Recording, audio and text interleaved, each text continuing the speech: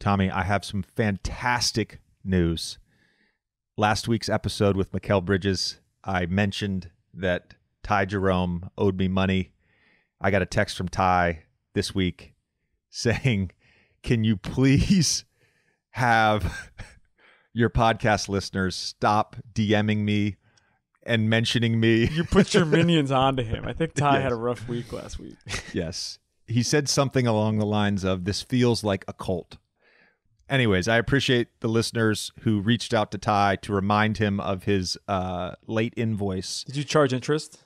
I did not charge interest, but he did pay me 950 bucks on Cash App. So I appreciate it, Ty. Thanks for coming through. I had no doubt that you'd you'd honor our agreement, and uh, and of course, Cash App made it super easy.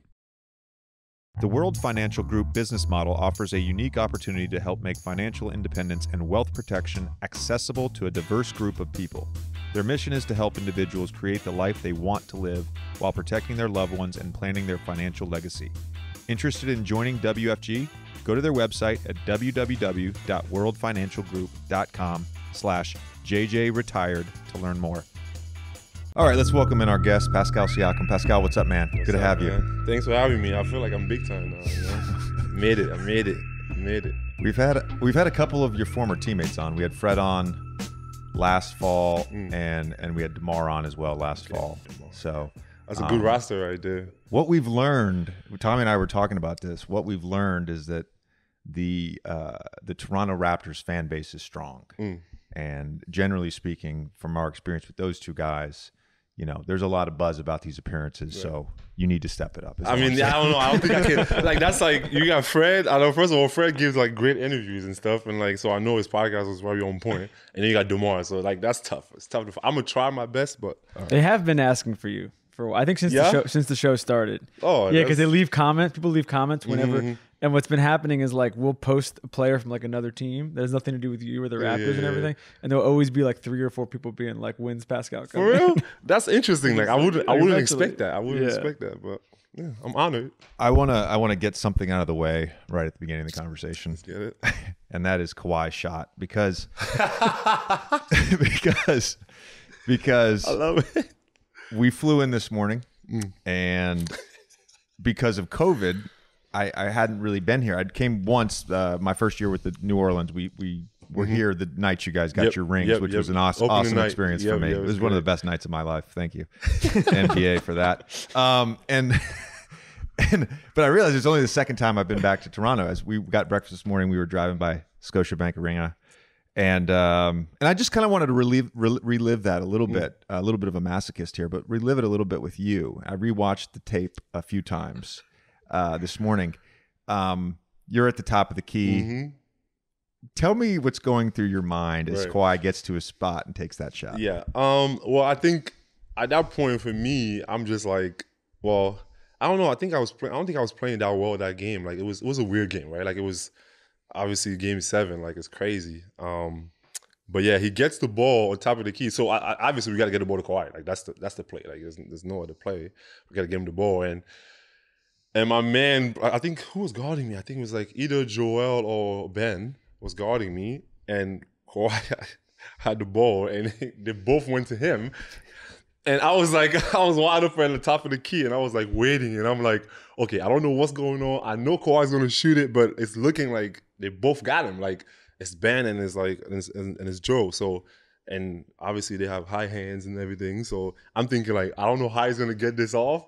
I know he's gonna get it off. I don't know what to do. Like I was just literally watching. I felt like I was, I was, I was like a, like a supporter too. Like I was on the, I was on the, on the side and just watching because I'm just there like waiting and I'm like, okay, like what is he gonna do? Like, is he gonna shoot it? Is he gonna pass it? Like what's going on? And yeah, it was it was crazy, bro. Like I, I for me, I'm just like I just wanted him to get it off.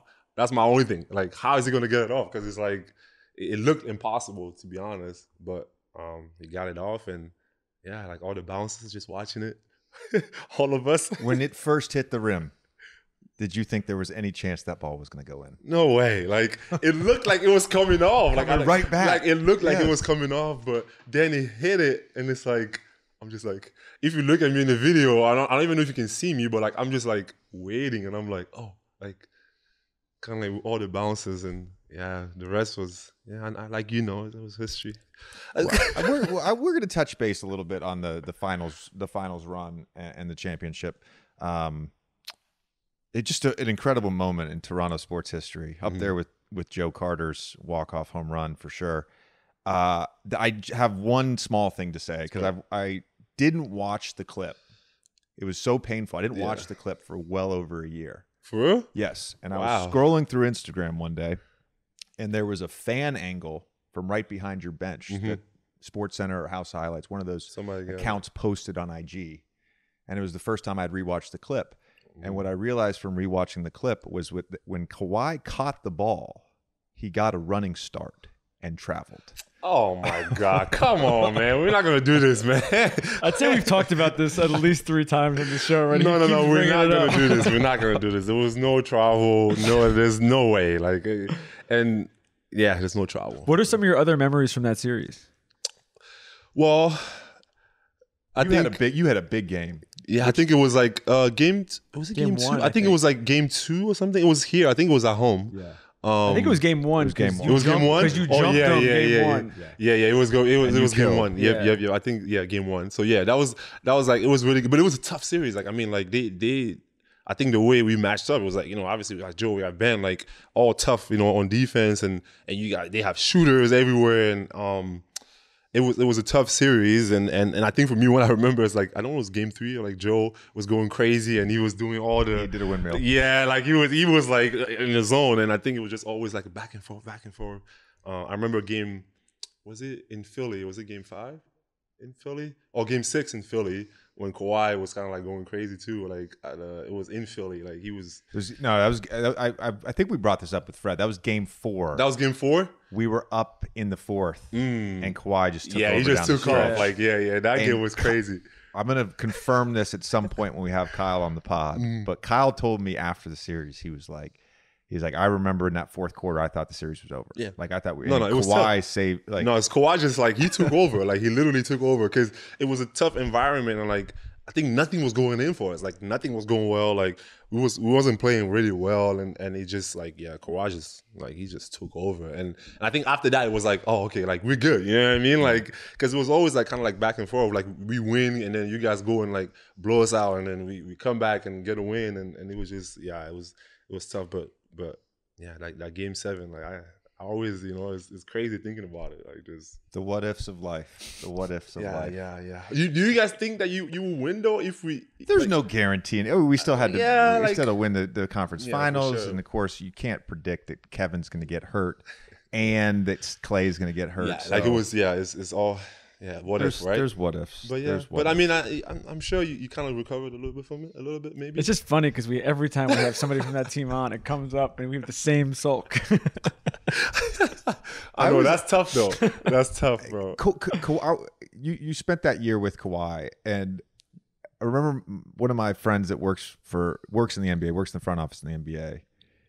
He texted me early on in the season. It was probably like 15, 20 games. You guys were rolling, obviously, that year. Um, and he said, "Am I crazy to to say that the Kawhi comp is Michael Jordan Hmm. in the sense of their game? Not uh, look, Michael is the Yeah, goat obviously. for sure, but." That was really the first year we saw Kawhi out of the San Antonio system Mm-hmm. and it was a lot of just getting to his spots, And- shooting over people. Obviously, the defensive prowess, Mm-hmm. um, being up close and seeing that, and seeing you know a top three, top five player in the NBA. Right. How impressive was he that year? Yeah, nah, it was it was super impressive, and I think obviously like it was all this like you know load management and, and everything going on, right? Like, and I think it was like it was always like a like a thing, and and and for us. And I, and I watched the Clippers, like, you know, the first year he got there, and it, it was like, yeah, like, there was always the issue. Like, oh, is he practicing? Or is he, or he's not playing today? He's playing today. I think for us, like, we embraced that, you know, like, we was like, yo, like, when when Kawhi is not playing, we're like, we excited. Like, everyone is like, I'm like, yo, today I'm getting 20 shots. Like, I'm, I'm you know what I mean? Like, we, we took it as like a challenge, and every time he didn't play, because we knew that when he was playing, like, he was playing at the highest level. Like, he gave us, like, everything. And, and like you said, like, get to where like it's just incredible to watch. Like, and I think for me, like I, I've kind of always watched Kawhi a little bit because like coming to college, like he went to um, San Diego State, I think, and and and I, I've I've always watched like kind of like low mid like mid majors like type of schools because I, I went to New Mexico State, so I always watched him, and it's like yo the way he developed and like he was always like you said in the system, but when he came with us, it was just like incredible to see him like just get to wherever he wanted to. He was strong, like he can shoot, like he like he just like he could just impose his will and get where he wants and just elevate and shoot, and like it was just incredible. Like he did it every single night. Well, the nights he played, which which was I mean for who was okay with like we we had fun with it because I think if you watch our back to backs like our record of back to backs like it was incredible because we was always excited doing back to backs um to play but but yeah like he yeah, he's on he was on another level like that year, especially like and for me just to watch it like up close, like it was crazy. Did, did you feel like you learned anything f- from him from like a focus standpoint mentally? Um, yeah, I think one thing I learned obviously is like he just always had the same, and I'm trying to learn from it because I think for me like I'm I'm a pretty emotional player and um and like when things are not going my way, like it was it was always like oh my god, like because I know the amount of work that I put in, I wanted to go my way every time, and and one thing with him is like things weren't going his way. Like you couldn't you couldn't tell. Like it was the same. Like it didn't it didn't matter if he made five shots in a row or he missed five shots in a row. Like he was the Well, same. there's a lot of there's a lot of memes of that. of yeah, like face. no, no, it's and literally that's him though. Every every day, like, and, and I think that was incredible for me. Like, it was just I, I always watched that, and I and I always thought like it was super impressive and something that I felt like like I, if I could have that type of like focus and like just knowing like even kill mentality that like no matter what, I just got to stay the same. Like it's it's incredible.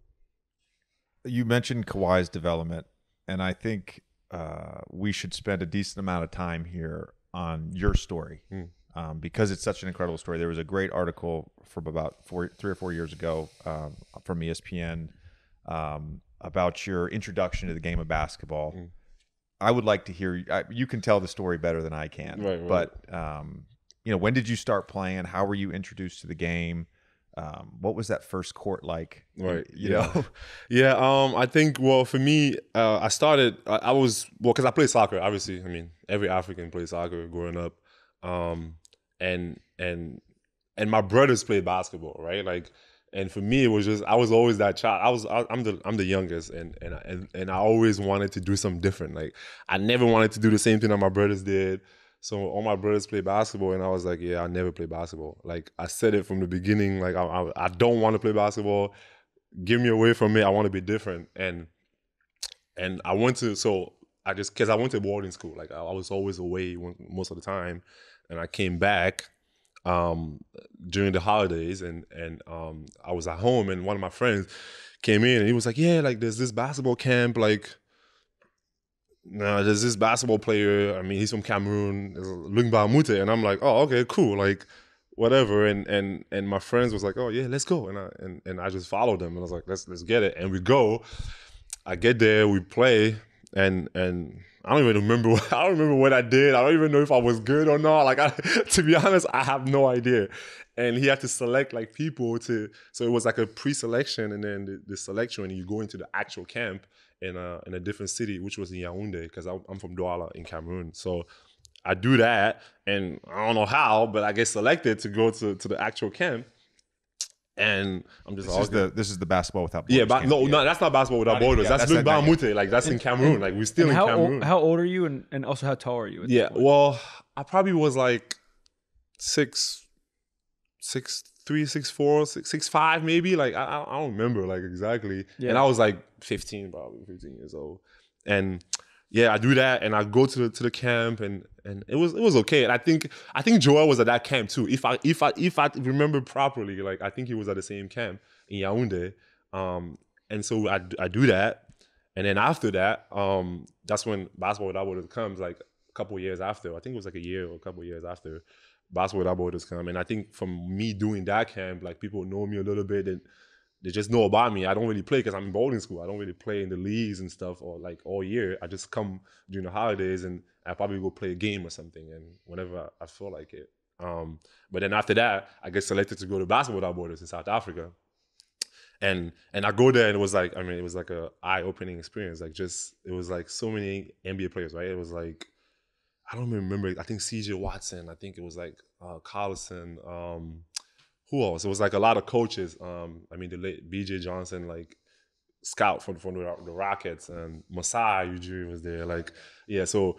All, I mean, I don't. Obviously, I'm. This is foreign to me. Like, I, I don't know nothing really about the NBA. I, I don't think I've watched an NBA game then because we couldn't even watch games anyway. So, um, I never watched an NBA game. Nothing. So I go there, and and one of the reasons why I always say it's funny because my sister lived in South Africa at that time. So in my head, I'm like, yo, I haven't seen my sister in so long. And they give me a free ticket to go to South Africa. I'm like, yo, like this is the perfect opportunity, you know? Like I'm gonna see my sister. I haven't seen her in a while. So like that was really my motivation because I'm like, I'm thinking like, okay, I'm, I'm probably not good enough to, to make whatever is happening there. Um, so I go there and then it was like, yeah, like I see a lot of like, NBA players, and, and I think from there I just had like, yo, like damn, like this is pretty cool, like, and and these people are supposed to be these stars in in the NBA, and they just here like hanging out with us and kicking, and it just it just felt normal, and it was like something that I felt like really inspired by, and I and I was like, yo, like, like why not, you know, like why not try and do that, and um and then from there, my, my dad, we had a, scholarship. He talked to some school. He did it himself. Like he talked to some school. They was able to get me a scholarship to go to a prep school in Texas. And I was just like, hey, let's get it. Let's try it. I have so many questions. so many follow up questions. First of all, mm. from the from the the time of the local camp. Yeah uh, from Luc's local camp. By the way, I played with Luc oh, yeah, uh, yeah. twice actually. Once mm. in Milwaukee and then in LA with the Clippers. The Clippers He's yeah. all time great human being. That's my dog. Um, but from the time of going to Luc's camp to when you went to Basketball Without Borders, how much basketball were you playing? So you would not touch a ball, and then you'd go home for the holidays yeah, from because, boarding school. yeah, well, because I was in boarding school, and, and and we have trimesters, and and it's like little two weeks vacation we have in between because I'm away for like three months and then I come back for like two weeks, and then there's like like a little team out there, and I'm like, all right, my friends is like, oh, okay, let's go, and then we just go and play. Like it was never like we never really like because I was never there. Like I was, and back in boarding school, it's like in a village. Um, it's called Bafia. Is is is it's where actually where Luc Mbah a Moute is from. Um, so we just go there and I play soccer all day. Like, cause there's nobody really plays basketball. Like we we we play basketball on like a I don't even know if it's like land. And I mean, it's, it's nothing. Like you don't. There's no hoop really. Like, and so I'm playing soccer all year, and then I go for like a couple of weeks. I'll play like maybe two, one game in in like a little league out there. So there was no real basketball. You weren't there was a, was there a court? Were you working? Yeah, there was game? there was a court. I wasn't working on my game. Like just like what? this is incredible. Yeah, no, I, did, I didn't. I didn't okay. work on my game. I don't think I, I actually learned how to like actually work on my game until I came to the U.S. Wow. So, but so once, yeah. So once basketball border without borders happened, you you get identified. Um, and your your father works out this scholarship mm-hmm. uh, to I believe it's called God's Academy. Yep, God's in, Academy in Texas. Yeah. Um, it's the most Texas name. yeah. Oh man. Of course. Yeah. Of course, it's called God's Academy. Anyways, uh, so uh, at that point now, you're like you're full tilt, you're mm. full throttle, you're yep. you're you're really into basketball, mm-hmm. and you've but you've never really watched basketball either. No. So do you do you remember your, your sort of your first viewing experiences, or like was there a player that you sort of were like, oh, I could I could do what he does? Was there a player yeah, that you yeah. sort of modeled your game after? Um, I think early on, like again, like I didn't I didn't watch that much basketball, right? Like so in my head, I'm just like, okay, like coming in, I always seen like African kids. It's like you get to a certain level and and you're big because like, pretty tall and, and it's like you're on a post, right? Like you run, you dunk, and early on, I think one thing I I, I just always thought like, damn, like I, I wish I can do like more. Like I just because again, coming back to me being a little kid, I wanted to be different. Like I, I never wanted to do the same thing. So I'm I'm always thinking like, yo, like I don't want to be just on a block and just you know like be a post player. Like I wanna I wanna do different things.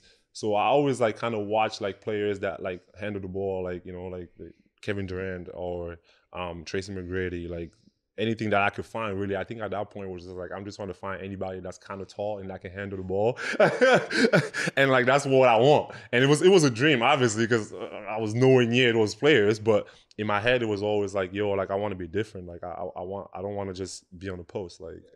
And, and those are the people that I kind of I kind of watch early on. Would you Would you describe your game as somewhat unconventional?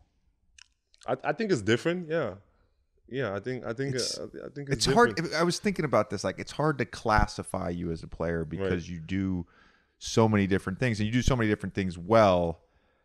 But there's also just like there's a fluidness, but also a herky jerkiness to how Right. you move. Yeah. There's not a lot of guys your sh- your size that are shooting floaters.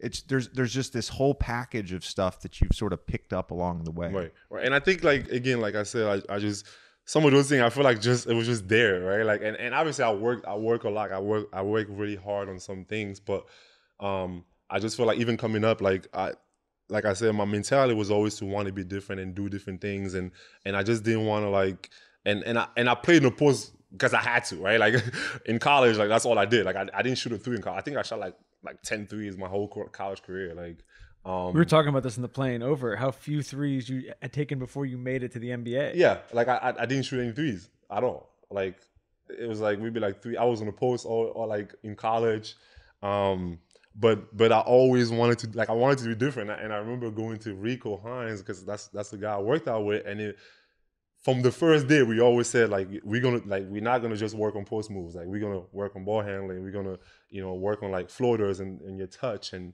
and and I always felt like I was I was mobile enough you know to do different things and and um and I just think it's natural. It just it just happened, you know.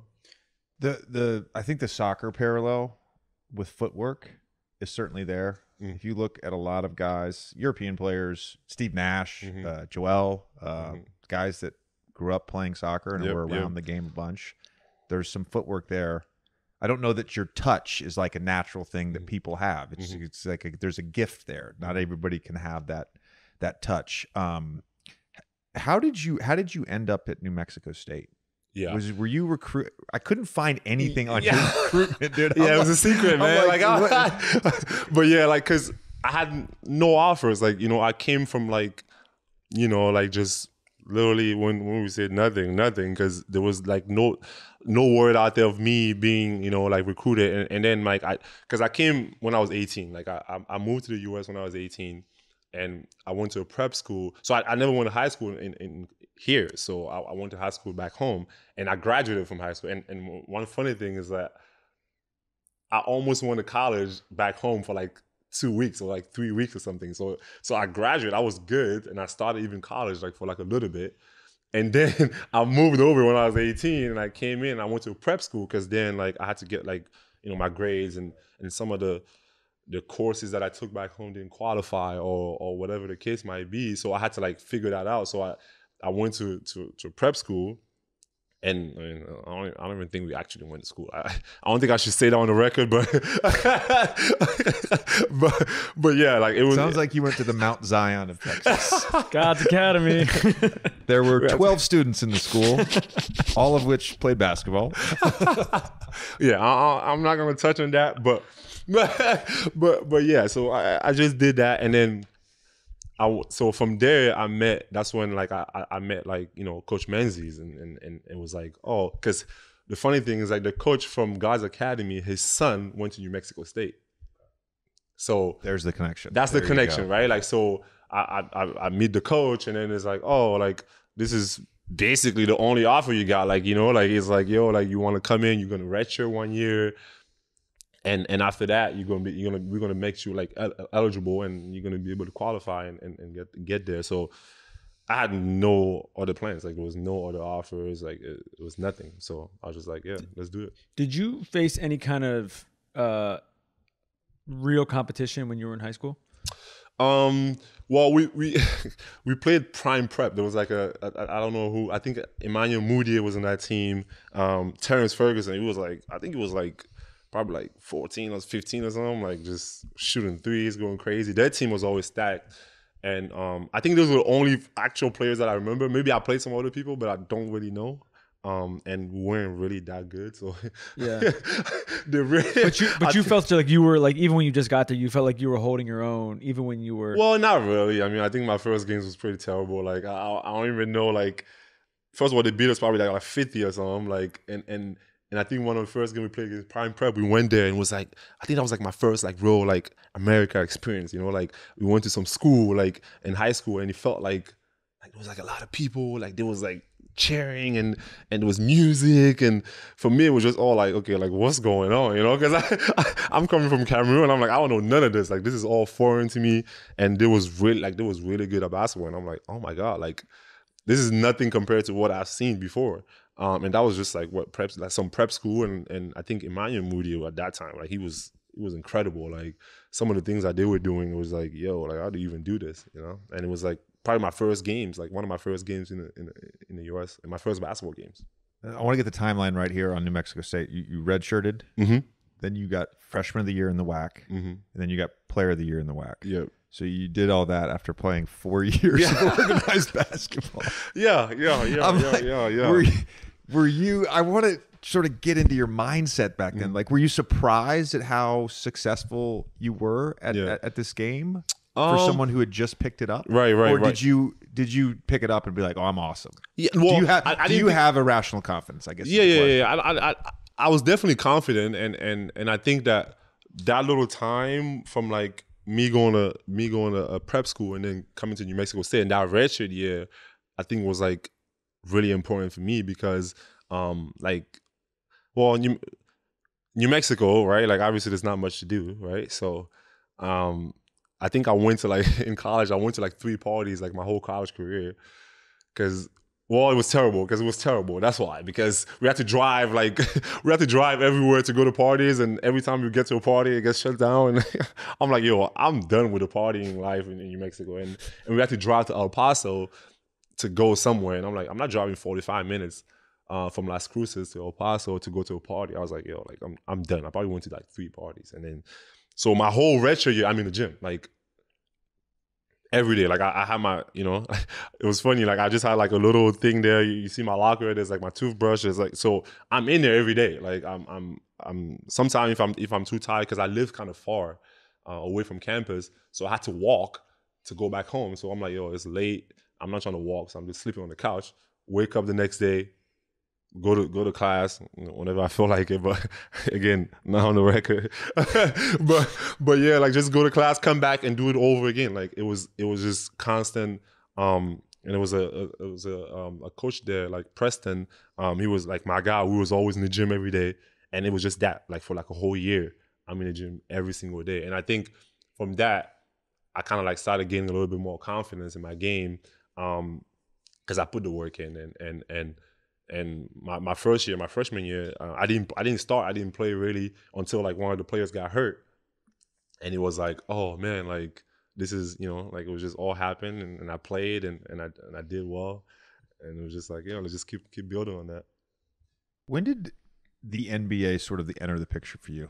Uh, and, uh, even going back to when you first started in Africa, was Mm-hmm. that the dream? Was that the goal, or were you just you just smitten with the game? Yeah. said, I want to pursue this. Yeah, no, I think uh, early on, like it, obviously going to basketball without borders was eye opening. It was like, okay, like the NBA is something real. Like it's, it's I can I can feel it. You know, like I've seen players, I, I've touched an NBA player, so in my head I'm like, okay, like this, it's there. They seem Um, like humans. Yeah, you. they seem And like normal human, people. You're so I'm human, like, so I'm like, like, oh, oh, yeah, like this is cool. Like you know, like they're actually really cool people. And and and from there it was like, all right, let's let's see what like I, I want to do it. And and my dad will always like kind of like because he he always like saw things that we couldn't really see like you know like and, and i always thought like he he he thought of things like back home for us was like not taboo but like not a lot of people thought of those things you know? He sent all his kids to the us to get education. Um the he, you know all my brothers play basketball so it was like okay and the nba was something that they wanted to do.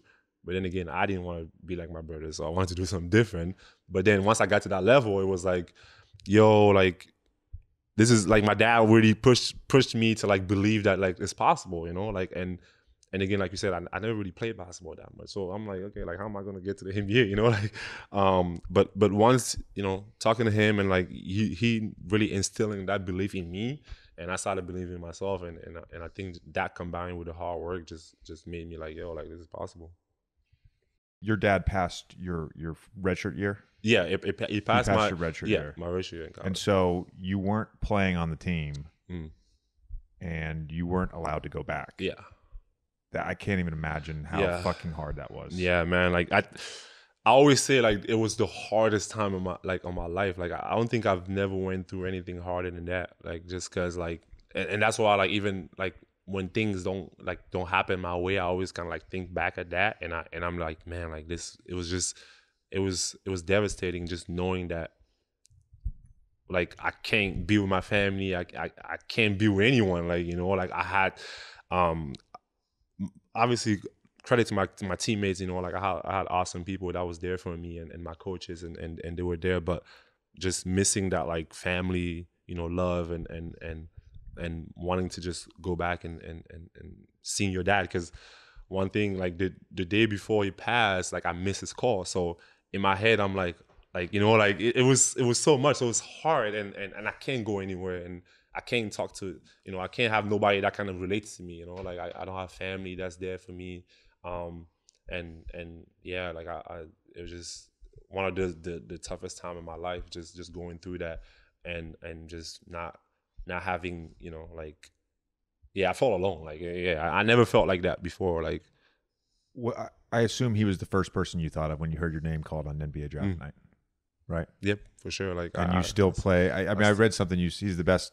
best man you've ever known. Yeah, and you still play for him. Yeah, no, that's yeah. He's just just because again, like I said, like he he always thought of things that that that that we we didn't think of, and and and people thought he was crazy, like and and and and he always believed in these things, and and all my brothers play basketball, and, and it was like yo, like I wish they can make it, and and and I was finally that person that that made it, um, and and and it was just like like you know.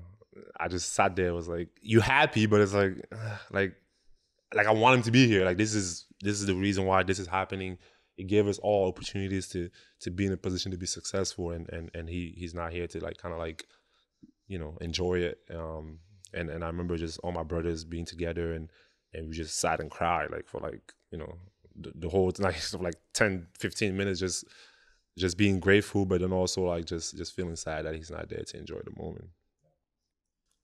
Um, speaking of the draft, I read in the, in the ESPN article it. There's a there's a good anecdotal story in there about your workout with the Raptors. Oh man, oh, yeah, yeah. I'll let you explain it. But eventually, it, basically, it sounds like they weren't viewing you at the time as a first round pick. Yeah, I mean, I don't know if it was like a it was a strategy. I don't know what it was, man. Like, I, but but yeah, that that that because I remember. So I come in and and I talked to my agent before. I talked to Todd. I talked to Jafar, and like they're just like you know they're preparing me like yo like yeah this is you know it's the Raptors. Let's get it. Like I think they in a you know like a spot where you, you might you might be able to get drafted because it was always like late first second round right like um so in my head I'm like all right like I'm I'm super pumped you know go go to Raptors get my workout in, and I see the names I'm supposed to work out with, and um, it was it was Jakob Poeltl in the list. It was um, Skal Labissière, and in my head I'm like, oh yeah, like this is this is the guys, you know, like I'm I'm excited, I'm super pumped.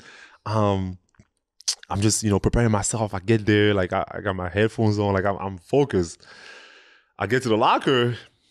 And it's like, okay, like I, I see two little lockers on the side, and it was like it was like Jakob locker, it was like Skal locker, and I'm like, okay, like what's going on? I was like, all right, maybe it's just you know whatever.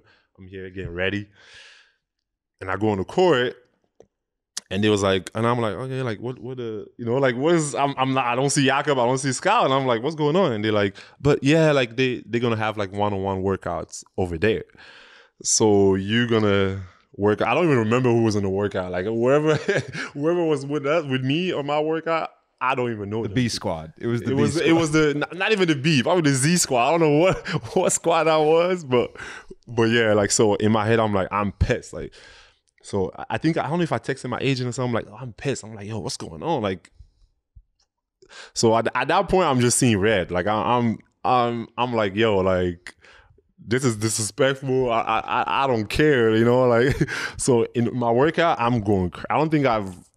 Yeah, it was just crazy. Like I was going crazy, blocking shots, running, um, scoring, defending, doing everything, and and it was just like yo. After the workout, I call my agent. I'm like yo, like I just. I'm mad, like I'm I'm sick, but I'm like yo, I just killed this workout. So I felt good. Like after the workout, I'm like yo, I killed this, and I mean, I mean, I think yeah, they felt that way too. So so it was it was Had, good. had you done a bunch of workouts before then? Yeah, I think I had like 20 workouts probably like my whole pre-draft. Yeah. I work out for almost every team. Yeah. It's the guys, the guys who generally, I feel bad for the guys who are in that range. Just had to When deal with someone says angry You're, you're you're targeted in like the 25 to 35 range. So many it's like, people. All right, well, I got to work out for everybody 15 through 30, mm-hmm. and then all the teams that drafted first in the lottery Yep. get the early picks in the In a second, second, round. so, I gotta, gotta yeah, I gotta work out. Yeah, so I worked out for literally almost every team. To be honest, I think a day before the draft, I had a workout or like or something. Like I think Orlando was my last workout, so I worked out there, and then I just stayed there for to watch the draft because it was like literally like a day before the draft. Did you get a sense right after the workout with the, the Raptors that they were gonna, or that Well- there was a good chance they were gonna pick you, Well, or was I- it I- coming as a surprise as, at, on draft day? Yeah, it, it came as well because again, like I knew what I did, right? Like I, I'm thinking, like, yo, this is, yeah, like you know, like I felt good after the workout, but still, like, um, I, I wasn't sure. Like I, I didn't really know if they was gonna pick me, um, just because again, like it was like my range was so like it was like, yo, you could you could either be 20 or you could not even get drafted. So it's like, um, I didn't know. I, I didn't, I didn't, I didn't expect it my, my agent is confident, but it's like I mean that's every agent, right? Like I think I think every agent on draft night probably tell the client that they're gonna get drafted, but it's like, yo, are you really gonna get drafted? You know, so um, so yeah, I, I didn't know. How much did you know about the guys in the team before you uh, got picked? Um, well, because in, in New Mexico, I, I had um maybe like four teammates that was from Canada. Um, so they always uh, they always bragged about Canada. Oh my God, Canada is this awesome place. Toronto is this awesome place. Um, this is happening. So they always watch the Raptors. So I think I had an early like you know connection to Toronto and, and Canada in general because of those guys and. And, and I love the way they talk, like you know the slang and all that. So like I always would hang out with them, and and and um I think I, I knew a little bit about it. Um, I didn't realize this until we were doing research on you, but we were talking about it at breakfast this morning. Your rookie year, you started in 38 games. Yeah.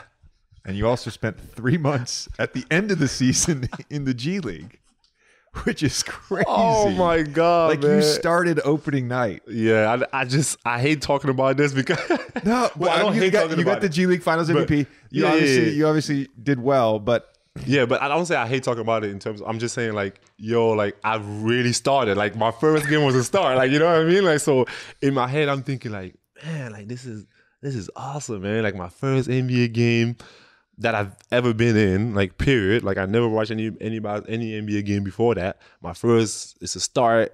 You know, we play in Detroit. I'm I'm excited, man. Like this is like this is the dream. And and we started like I think we was we were winning. So it's like, yo, we had an awesome record in the beginning of the year. So I'm thinking like, yo, I'm I'm making this. And then it's like, wah, wah, wah. and I think just getting sent to the G League was like crazy, man. Like just because obviously, like I, I mean, I come from humble beginnings, but um, being in the NBA and, and starting and like it was just the bright lights and like from the beginning, and then you have to get sent to the G League and and, and I mean, you go to to cities where the like the best restaurant is IHOP.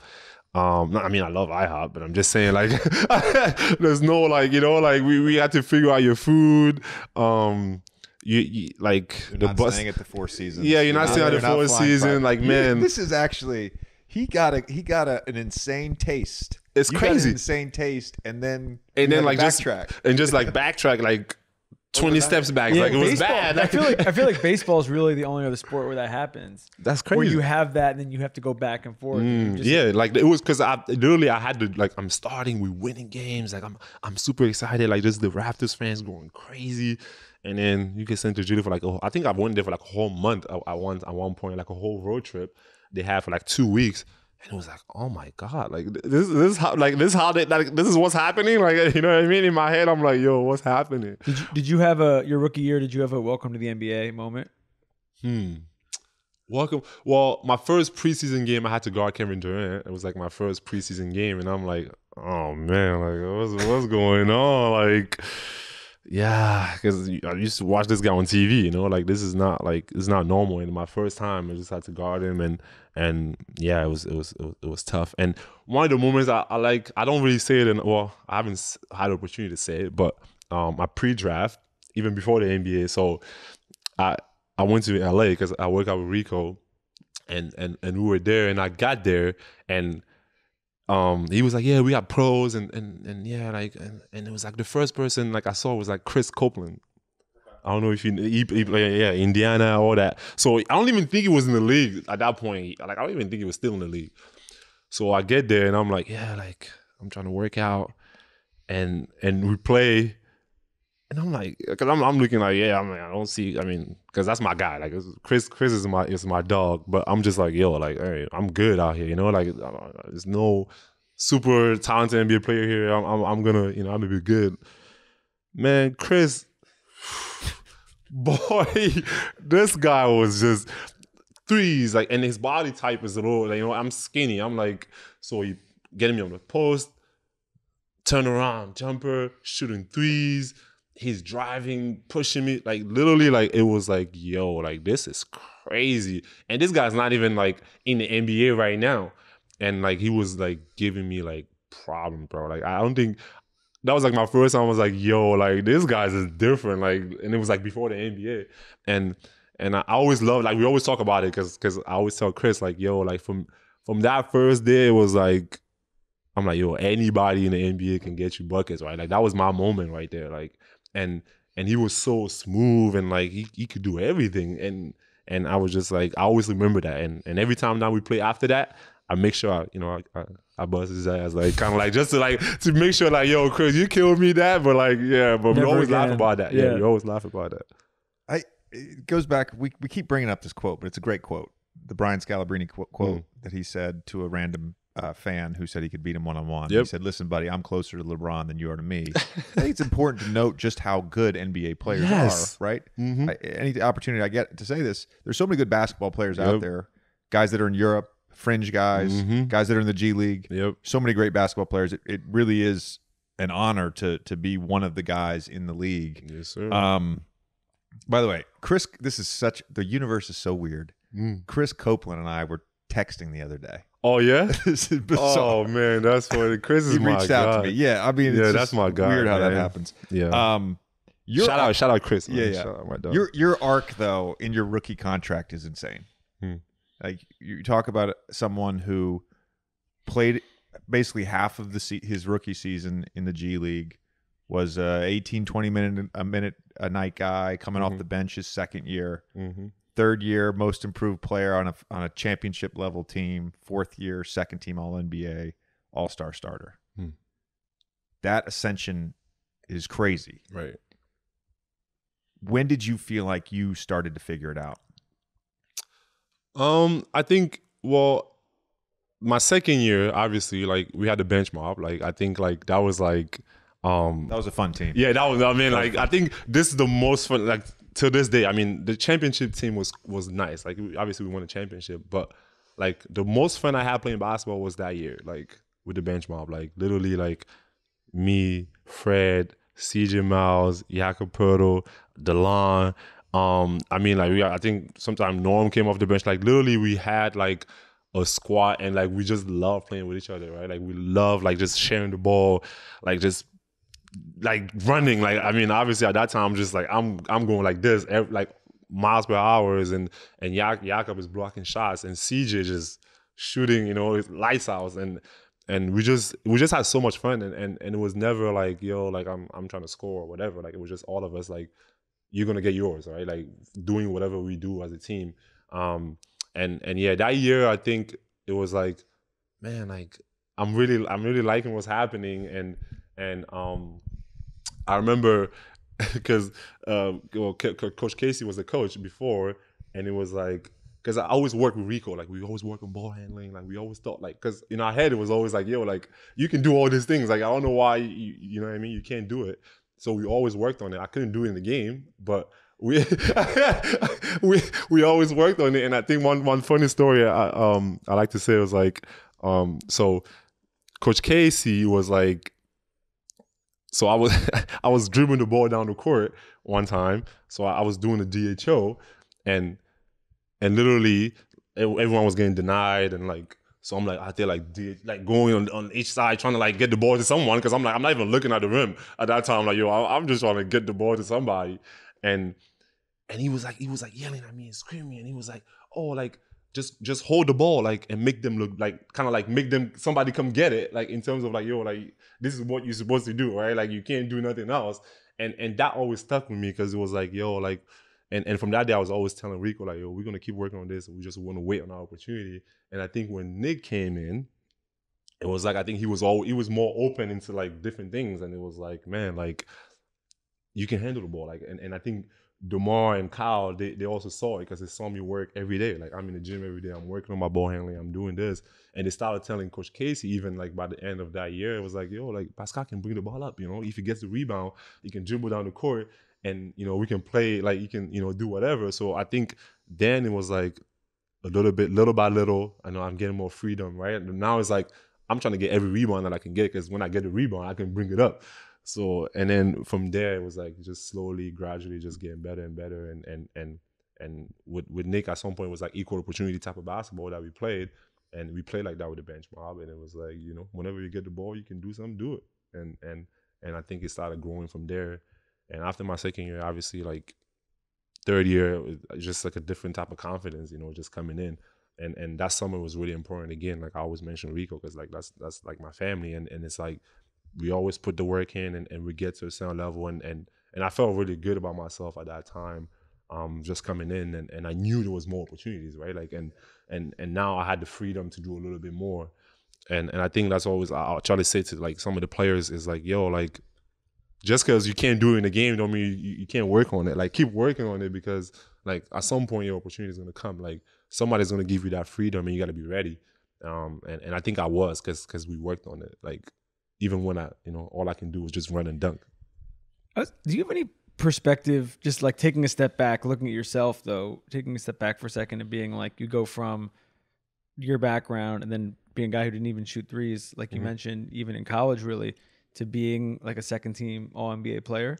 Because generally, like we've had a lot of people on the pod who have had crazy backstories and everything like that, mm-hmm. and making it to the league is a huge accomplishment. Right. But we haven't had anyone on the pod who's been second team All NBA right. who's come through that backstory. You know what I mean? to reach that yeah. level of uh, that level of success. Yeah, no, it's, it's, it's crazy. Again, I, I would love to say like, yo, I was expecting it because I put the work in, right? Like, but but sometimes just things that happen, and and I'm obviously I'm blessed, and and and and and and I give credit to you know everyone that's my team and and and you know all the people that I work with. Um, we put like hours and hours um, but then also sometimes it's like you know, just things things happen, things go your way. Like I can I can sit there and be like, yo, I put everything, yeah. you know, but but sometimes it just happens, and and um, and I think the more I play, the the the, the more work I put in, the, the, more like the more confident I got in, in my game, and and and and once I I just think that I had that confidence, and and and just seeing even people around you, seeing like you know like you getting better and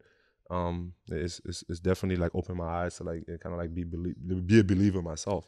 Was was there a part of DeMar and Kyle when you were coming in that helped you with that? Oh yeah, for sure. Like like um, I always think like those guys was like just it was a, it was a perfect thing because you know DeMar was was quiet, it was it was chill. DeMar was always chill, um, and then Kyle was was always like the more vocal person, and and those two together just like you know they showed us everything like in terms of like you know like Kyle's in here every single day he's the first in the gym um getting his work done in the morning like doing everything. And then you know DeMar doing the same like every single day like they they in here consistently. They're professional like you don't you don't really hear about them like like doing nothing crazy really. Um and and they stayed on us like from the beginning. And and and also we had a great group together, like coming in. Like it was me, Fred, Jakob, um, Norm probably was like his second year or something, like Delon. Like so we had like a young group of guys, and then we had vets that was like, you know, show us how to be, but we also had fun. Like we also, you know, because we had people that we could have fun with, and and and and and it was like a crazy dynamic to have. And I think that's what made it so so so so great. And and and yeah, I just if one thing I just learned from those guys, just being a professional and obviously the little things they taught us about like you know like how to move and and, some of the things that you know you, just can't do in the NBA or like you know and, and yeah it was just great to have those guys I mean super blessed to, that they were here when we were here Hi, I'm Ellen Pompeo, and I would like to introduce you to my new podcast, Tell Me. I'm sitting down with Dwyane Wade, three time NBA champion, an Olympic gold medalist, 13 time NBA All Star. He's had an incredible career. I don't feel like nobody really wanted me to retire. Were they pressuring you to stay? Were people like, Are you sure you want to do Yeah. this? Are you sure you want to do this? Yeah. I actually wanted to retire the year before I retired. I was done. And it wasn't from a lack of being able to go out there and score 15 to 18 to 20 points some night. But it was a lot about I didn't have joy no more in it. You know, I was just doing it because this is what you do. And it just got to a point for me where I decided to take the step because I was ready. And so I gave everybody one more year. And it comes to a point in time when you got to look in the mirror, you got to choose you. Listen and follow Tell Me, a podcast presentation of Cadence 13 with me, Ellen Pompeo, now for free wherever you get your podcasts. Even though I'm retired from the NBA, the grind from decades of playing basketball has obviously affected my body. And let's face it, I'm certainly not the only one. We all have aches and pains that we have to deal with. Well, now there's help. And Barkley creates award-winning CBD solutions for pain, stress, sleep, and everyday wellness. They have an unmatched, clean, chemical-free whole plant process with proven results. And Barkley understands wanting the absolute best for the people we care about most. Papa and Barkley founder Adam Grossman created the groundbreaking relief balm to ease his father's debilitating back pain. From that powerful homemade balm, Papa and Barkley has expanded to a full line of topical balms, oils, tinctures, and capsules, all made with 100% natural clean ingredients and whole plant, full spectrum CBD. And Barkley is on a mission to improve lives through CBD in its purest, cleanest form possible. Go to papaandbarkleycbd.com slash JJ for 20% off your first purchase. That's 20% off for new customers at PAPA and B-A-R-K-L-E-Y CBD.com slash JJ. Papa and Barkley CBD.com slash JJ. As anyone who listens to this podcast or knows me personally, I occasionally like to enjoy an adult beverage. Well, I want to tell you about one of my favorite new adult beverages. Ranch Rider Spirits is a Texas based hard seltzer company, and they produce some amazing seltzers. Last summer, a buddy of mine introduced me to Ranch Rider. It was the first seltzer that I actually liked. I was so hyped on the product and branding that I actually reached out to the owners of the company myself to tell them how much I liked their goods. In turn, I was so smitten with the company and the vision and what they stand for that I invested myself. My favorite drink they have is Ranch Rider. It's the classic ranch water. If y'all haven't heard of ranch water, let me enlighten you. It's a classic Texas cocktail made with tequila, Topo Chico, and a heavy pour of lime juice. All of Ranch Rider's drinks use premium spirits like Reposado tequila or six time distilled vodka, sparkling water, and fresh squeezed citrus. They don't use any added sugars or artificial preservatives. As they say, no sugar, no shit. If you want to try Ranch Rider for yourself, you can get 20% off your online order using Old Man 3. O L D M A N, the number 3. Old Man 3. That's ranchriderspirits.com slash JJ. Use the promo code OldMan3. Look, if you're into clothes that not only look amazing but feel amazing as well, then Rhoback Activewear is the no brainer choice. I've been wearing these products for the last few months. I absolutely love them. I took them on my golf trips. It's fantastic. I've posted a bunch of stuff on the gram. I love their products. We've tried them. We can confidently say best fit, best feel. First, Rhoback's performance polos are truly game changing. You won't find a better looking, better feeling performance polo. Their collars don't lose their shape, and their four way stretch is unmatched. Second, Rhoback's new performance hoodies are a total game changer. Maybe the softest, stretchiest hoodies in the game. You know we are experienced hoodie guys, true, and we literally wear them all the time. I wore my Rhoback performance hoodie to dinner last night. I loved it. Hmm. And third, Rhoback's performance Q zips are incredibly comfortable, perfect for a day in the office, a round of golf, or a night out. They are the definition of versatile. You simply cannot go wrong with anything they make. So go and use the code OLDMAN on rhoback.com for a generous 20% off your first purchase. Rhoback is spelled R H O B A C K.com. That's 20% off all polos, Q zips, hoodies, and tees with code OLDMAN. They just dropped new hoodies and Q zips that will have you feeling good and looking fresh. Not to mention, Rhoback polos make great gifts for the holidays. Tommy, what are you getting me for the holidays? It's a surprise. I'm not saying it on this show. You're gonna find out. you are too. All right. Did you have an inkling that the Kawhi trade was going to happen before it happened, or did it come as a surprise? Um, hmm, definitely a surprise because yeah, I know I know DeMar told probably told that story like a thousand times already. Um, we was in Vegas and all that, so like I didn't I didn't think nothing was really gonna gonna, gonna happen. Um, and and it was like I think I remember I went to dinner with my agent. I was in Vegas and we we was talking and like literally like it just came like a, a, couple of hours after that it was like the trade. And i'm like i'm sitting there like oh my god like what's going on? Like you know what i mean? Like yeah i didn't i didn't expect it at all. Yeah.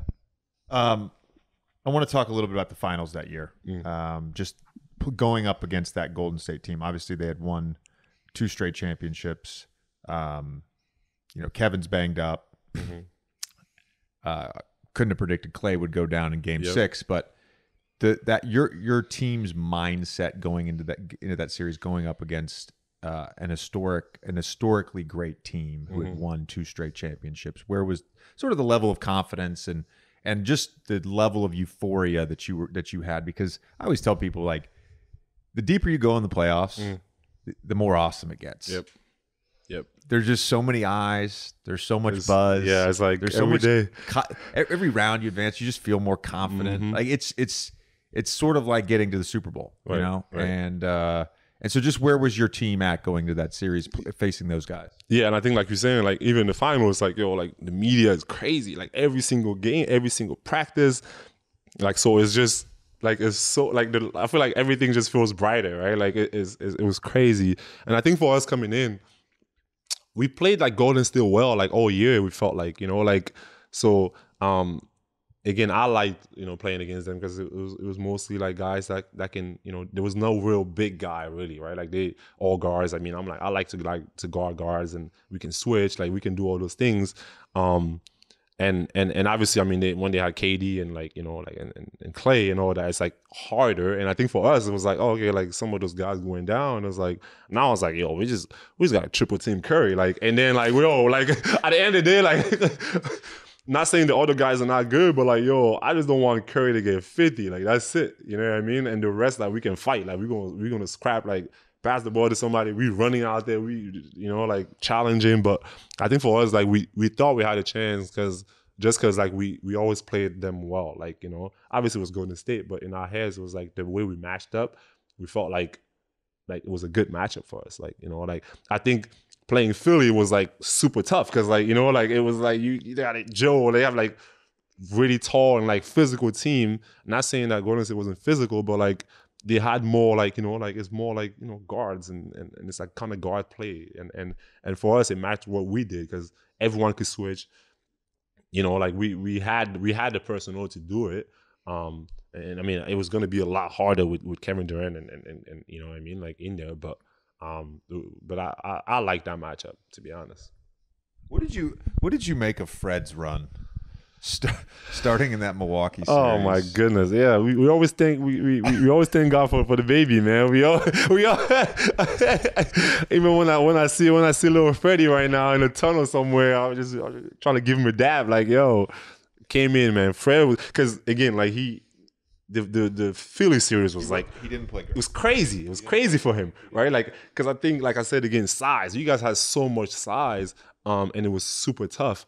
Um, and I think when he, you know, obviously he got to the, the Milwaukee series, he was just going crazy. Like, I don't know, that boy, yeah, he was he was on another level. Like, just making threes. Um, obviously, like the job that he like on defense. Obviously, his defense is always there.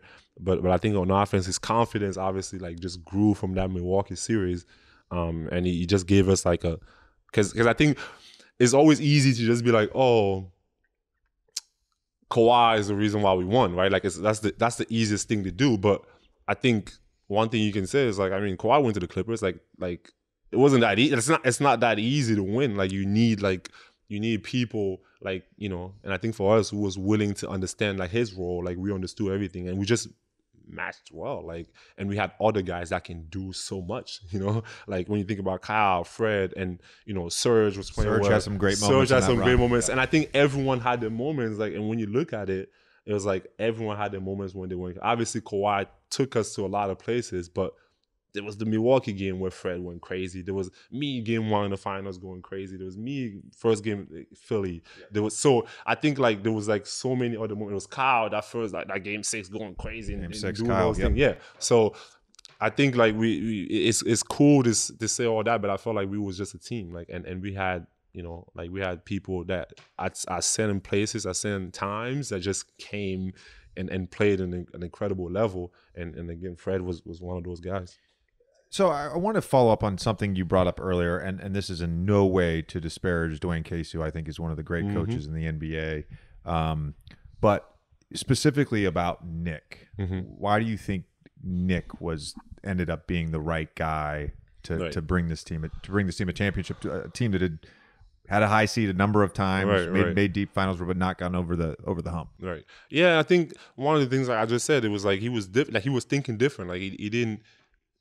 Like a boxing one. yeah, on like yeah, he like who would do crazy stuff. Like you know what I mean. Like, and I think like he's not afraid. He wasn't afraid to try different things. You know, not saying that other coaches are, but like I'm like I think he was just more open to to trying new things and and and and using guys in this in a different way and like you know like just in and like I said, equal. It was kind of like an equal opportunity type of offense where you know like it's not just me sitting in the corner hoping that I'll get the ball ever, you know. It's like us moving the ball and like, you know, we everyone can touch it. Like you and and and you have guys that can do multiple things. Um and and and I don't know, it was just like it was just like the perfect perfect timing to, for him and and he came in and and definitely instilled confidence in a lot of us. Um and and gave us the opportunity to to, to do way more. And, and and again, like it wasn't it was outside the box. Like he was he was thinking and, and trying things that hadn't been really done. So, so you just mentioned this, uh, and I feel like a lot of people right now are probably wondering this. If you're not going to triple him, how are you supposed to defend Steph? Yeah, man, I don't know. Yeah, I can't, I can't tell you that, bro. like this guy is like, I mean, most of the time it feels like he's just like throwing that thing up, like it goes in every time. Like he's just so incredible, you know. Like and and and I think one of the things that we always done is like, yo, like we we gonna try to take the, the best player out. Like that's sometimes it works, sometimes it doesn't. But um, especially with a guy as as as you know incredible as Curry, that's what you have to do. You have to like there's, no you can I, I can't just watch him just come off screens and, and shoot from like half court knowing that it's going in and still let him do it. You know what I mean? Like and, and I know sometimes it's like, oh yeah, you think he's far, but like, bro, this but this guy is like a layup. So it's like you you have to take away um, what he does best and and and yeah, you, I think you have to. I, I, that's to answer your question, you have Yeah. to, bro. Like you have to you have to basically try to make someone else yes, go like for go for thirty. yeah, for me, it's like I think Yeah. I'd rather watch. I don't know, like the third best player or the fourth best player on that team score than like seeing the best player just get whatever they, they, they want. And and I yeah, I don't remember Draymond and him doing this last year. But the thing I've seen a bunch this year is when you blitz him with the big, Mhm. he'll just get off the ball super early to Draymond, and then Draymond will come right back for a DHO. Because if you're, uh, if you, I'm sure guarded guys, Yep. and you've been in a trap, but if you're the guy guarding the ball in a trap, as soon as he gives up that ball, your natural instinct is to turn Yep. because now it's a four on 3 Mhm. And what And they figured out back. Mm-hmm. is he's coming right back off the DHO. And I- they, they did a similar thing last year, but it wasn't on that. But it was Yeah. just the way that Draymond was flipping screens. yeah, Like the two of them, to me, the tandem there, the Mm-hmm. the level of basketball intelligence, obviously Sc- Curry's skill set, but Mhm. Draymond as a screener, Draymond as a passer, Passer, yeah. Mm-hmm. Draymond willing to manipulate defenses. They're, just, they're just so smart. No, no, that's yeah. that's. I mean, that's what makes them so hard to guard. I think so. And and and one thing is like that's underrated is like Steph like level of conditioning is crazy. Cause I think for me, just watching him, like he he gives up the ball and he always moving. Like he like just running and, and he can still run that fast and trying to get open. And once he catches it, like he can still make it like it was a layup. You know, like I think for me that's like because again, if it was just somebody that that when he gives the ball up and he could you can kind of like be there and he's gonna like just stay there a little bit and kind of like give up. He keeps moving the whole possession from here to here and still have the level like like you know focus to like make the shot every time. And and obviously like those guys finding them is, is incredible. But but yeah, like they Steph, I think Steph just, you know, yeah, his his I don't know. I think his conditioning. I think is is underrated because the way he runs everywhere to get open every night is crazy. We we like asking this to a lot of guys. Uh, if you can't name you can't name any of your teammates, are there younger guys around the league you either just like watching, like playing against, who you feel like are sort of on the way up? Um, like younger, like Yeah, like you, like you a couple years ago. You know, you before everybody sort of figured it out. right, right, right, right. Um, hmm. Who right now do I like? I like watching. That was a good question. You He caught me wants off to say- guard he right there. wants to say Scottie. Yeah, I mean, I, you say, oh, they say none No, but it's like so that's what I'm obvious. like, yeah, yeah, it's like, like I want to say like we know that. But by the way, like I think I think even people who who watch the show or listen to the show, like they know that now too. And not that they have to be like totally under the radar, Mm-hmm. but just like you know people that like you wouldn't normally expect. Like maybe in the first couple months, who you played against, and you're just like, oh yeah, like they got something.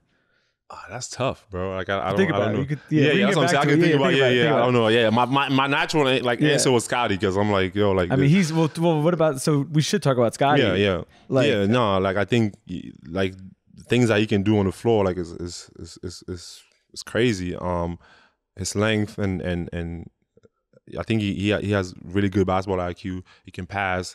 Um, and I- and I think his offensive game is just going to keep growing. Um, but but but what he can do on defense and and and and you know guard one through five, yeah, like I think is is the sky the sky. You could see that from day one with him. Yeah, no, for sure. Like you can definitely see, it. and I, and I think again, it's the opportunity, right? Like there's there's a lot of people coming in that, that don't get the opportunity to play right away as a rookie, like and the experience that you get, um, is just is just something that that's just gonna carry you like like over the years, and, and I think he's just only gonna get better. I got one more question, Tommy, and I haven't really asked anybody this that was on the team last year, but going to Tampa last year, Oh, having man. to relocate, um, and obviously Florida was a little different than Mhm. some other states that NBA teams are located in, but we still had to abide, especially after January 10th, we still had to abide by those protocols. But mm-hmm. just how weird, how difficult, Yeah. how much did did moving the team down to Tampa sort of affect last season? Yeah, I think it was tough, man. Like, and and one thing is like you also sort of think for us it's like right, like I mean it's hard to move around, but it's like we have the ability to do it, right? Like we had like now we have staff and all these people that don't really, you know, like they don't, they're not well off as us, and, and they can't really do all this, and they can't really move their families there and and be with their families, and and um and and those guys, it was tough on them, and I just seen them going through that, and us just trying to navigate through it. Now you have to find get a new routine, and and knowing, you know, like this was home is comfort like and and as players we know we love that you know like sometimes you, you want to go back and sleep on your bed and and you know what's happening and and for people that have families like now you have to move your whole family somewhere like i mean your kids if you have kids you have to go to school somewhere. Um it's just it was just so much. Of our, like you know and then we go to arena where it's like I mean, some nights we get we got booed, so I'm like, I don't even know who's our fans or not. Like, I think it was just like random basketball fans. Like, you know, people just go out there. You're gonna see people like we played we played Golden State, and you're gonna see a Memphis jersey, and you're gonna see a Dallas jersey over there, and it's like, it's like what's going on? You know what I mean? Like, it was just like so random, and and you get to the court, you never know who you're gonna see. Like, like so for me, I'm just like seeing on the court, like you don't even know who. Like, it was it was crazy, man. It was I- weird. I remember when you guys, the Pelicans played. Opening I think the first opening night Mm. in Tampa last year, and I think we talked to. I was like, "Who's at this game? Like, Like, who? Would, like, there's random people in No, Tampa." I think it's just like people just like, yo, I- this you have a date tonight. Like, all right, let's go to the game, man. Like, what team you, you support? Yeah, I, I like Golden State. Like, it's not even Golden State playing tonight. Like, it's like Boston. Like, and they just people just going on like just hanging out and.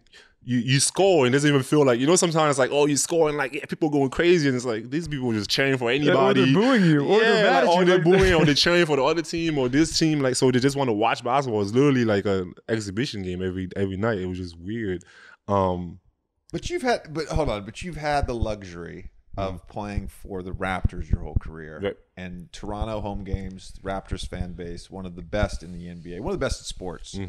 Uh, the way they support their team, there are, and I've played in some of those places where you have a home game, and if it's the Bulls or the Warriors or the Lakers or the Heat or the Knicks, Yep. feels a little bit like a road game. Mm-hmm. And uh, so, To hear you talk about Tampa that way is not a surprise. Yeah, yeah, no, yeah. Like it was, it was for us, it was crazy because it was like, man, like what's going on in here? I mean, it, literally, it was crazy. You had to, to to be there. Like sometimes, it's like we had the game. Sometimes, like, like what is going on? We in arena and like it feels just strange. Um, and and and I mean, the only good thing was like it was it was warm. Like that's the only. I think for everyone, if you ask anyone, like they enjoy that part. Like you could go home and and you know you, you sitting outside in the backyard it's, it's warm and and but but I think that was the the only good thing about that like the rest was just like you know us just you know missing our fans and, and missing home and, and wanting to have that feeling again and and, and yeah it just it wasn't it wasn't natural being out there Coldest weekend I ever spent in my life was 2016 All Star break Also, in yeah, Toronto. I heard that That was the last three point contest, right? You did right. Yeah, that was the coldest weekend of my life. Yeah, I heard entire that. Mm. weekend was like negative five without the wind chill. that's crazy And you know the wind off those lakes, it was just. It was yeah, bad, I, I heard that. That I, people always tell me stories about that. Like it was It was the crazy. worst it was crazy. All right. Well, we appreciate the time, man, and Nah, uh, thank you for for sharing your story. And uh, best of luck, man. Yeah, thanks for having me, man. Again, like I said, I feel big time now, man. I made it. I made it, mama. I made it.